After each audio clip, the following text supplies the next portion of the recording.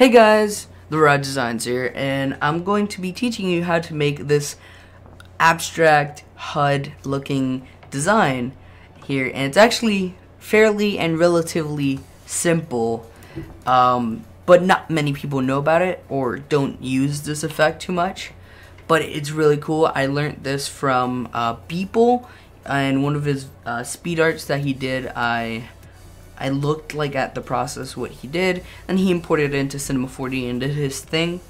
But he's an amazing artist. If you don't know him, you should totally check him out. Uh, so let's just just get right into it. So first off, um, what you want to do is just make uh, some squares or rectangles as well. So kind of be like really uh, creative with it. I guess like um, make it make each pattern different. So essentially what you're going to be doing is you're making a line and then this line is going to be translated into the object or shape that you apply it to. And I'll show you how it's done. Uh, I'm just to keep just making something uh, something that looks really cool. So I'm just gonna add like some squares here. I know they're not like uh, aligned, but it's tutorial for tutorial sake. I'm just gonna keep it like that. Then I'm gonna make uh, some more lines like this. Then I might make I'm gonna make something bigger. Maybe maybe um, use my pen tool and take this out. And select select both and then I'm gonna use my shape builder tool and hold alt and get rid of these overlapping paths. Like I'm gonna make something cool like this. And then I'm gonna do one for the end here reflect it. Horizontal actually vertical. Uh, right here vertical. Yeah like that. I'm gonna bring it down here like so. And then uh, I'll, I'll bring in some uh, some triangles here. In order to get the triangles, I picked on the star tool, and as you're dragging up, uh, you on your keyboard, you can select, you can press up on your keyboard, and it will add more. But if you press down, it goes all the way down to a triangle. So that's the easiest way how to get a triangle in Illustrator.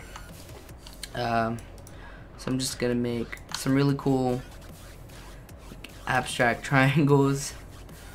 Um, I, I don't know what triangles would look like in this because I, I don't believe I've ever used them.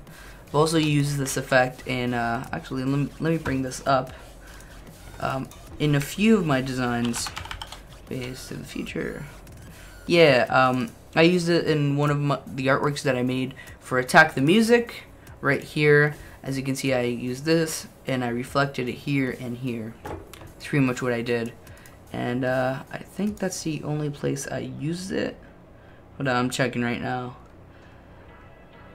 Yeah, I believe that's the only place I used it, uh, as far as I remember. Oh no, I actually used it for another artwork that was used on Attack the Music, record label, um, Saba's remixes, and I used them here and here. Did kind of the same thing, but uh, each one is actually very different. It, it kind of looks like it, but once you develop your style, it'll look really, really cool, depending on what you put on it, of course. Um, so I'm just going to finish this right there.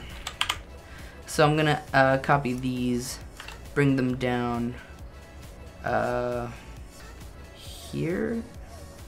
Yeah, right, right about here. Yeah.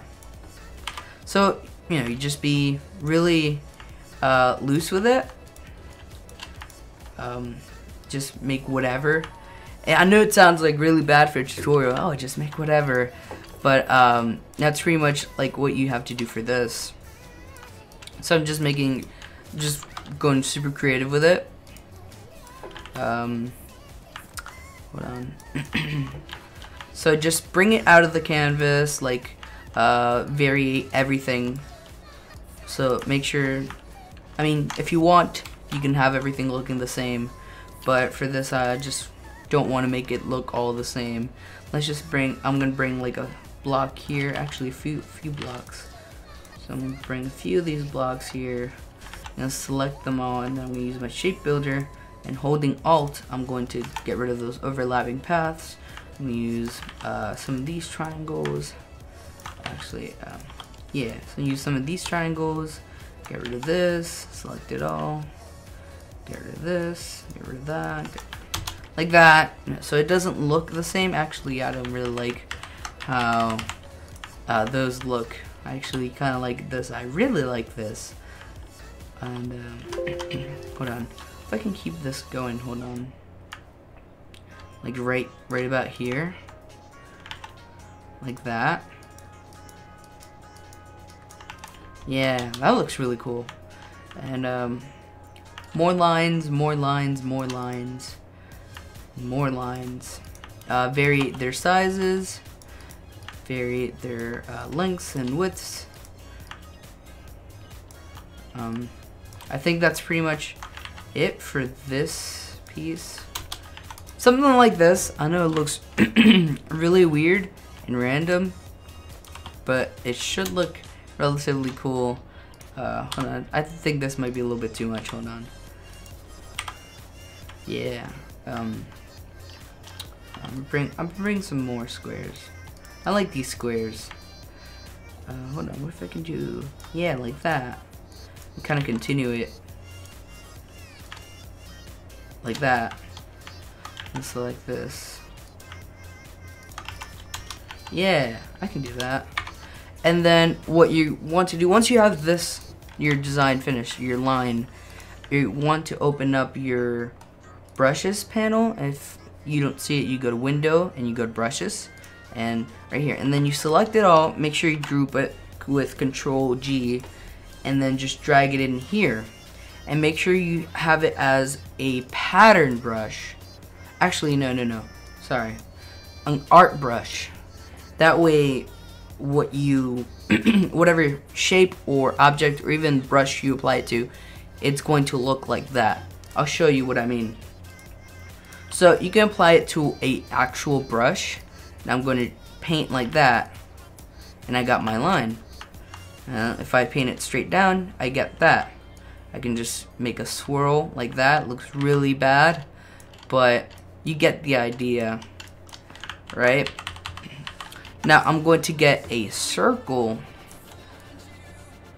and I'm going to uh, I'm going to align this, and make sure you, you turn your fill off.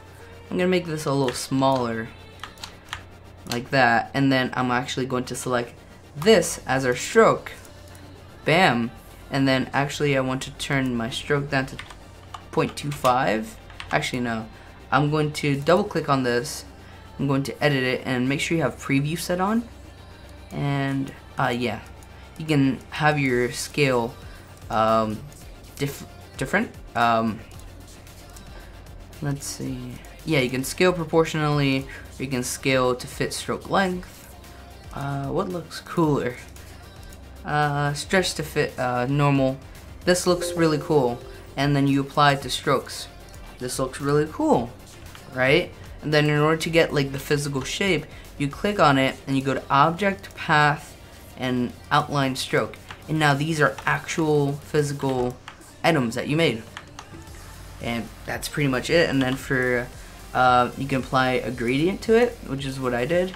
And do that. Or um, let's just pick blue, like this blue, and like an orange. Yeah, I don't like this blue, hold on. That looks a little better.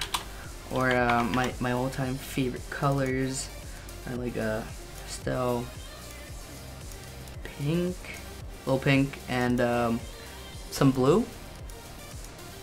Like that. And that's pretty much it. And um, you could also apply this uh, line to other shapes like I said before. So let's get a star, an actual uh, star. Wow. There you go, star.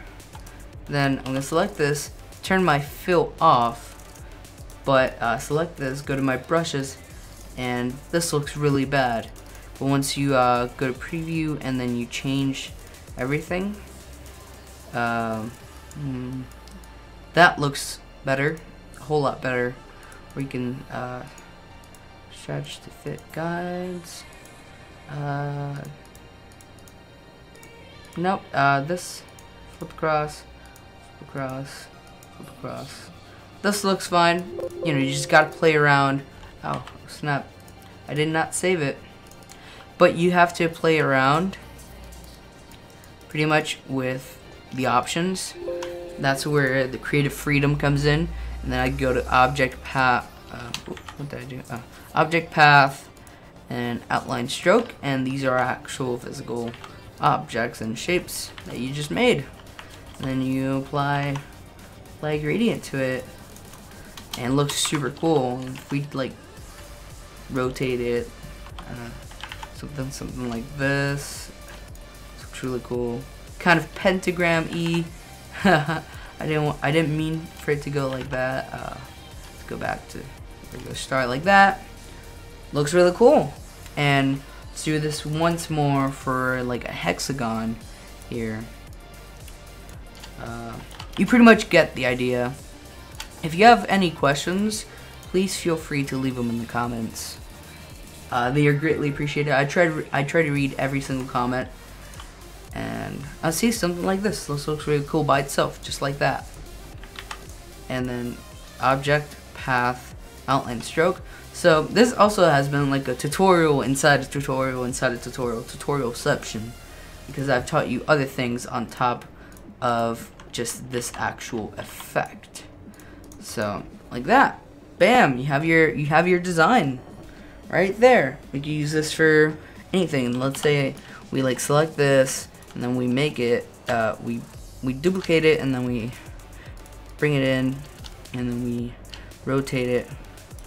That, bam. You have, you have your new cover art for your next album right there. Bam. That's it. Uh, this has been tutorial by The Ry Designs. Thank you all for watching every single day. Well, every two days is my schedule. But really, thank you, thank you, thank you, thank you. I can't thank you enough. Um, see ya.